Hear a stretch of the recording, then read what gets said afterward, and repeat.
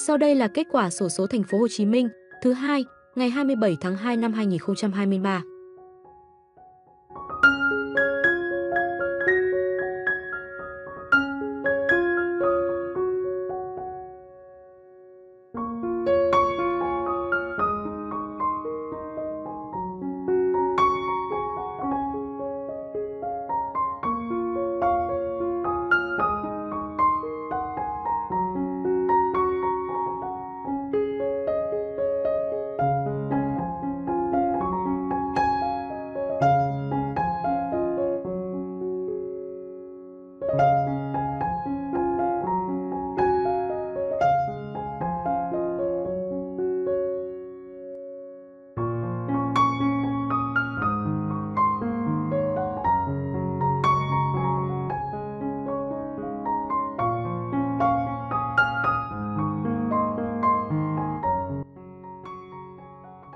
Kênh sổ số miền Nam, kết quả sổ số hôm nay.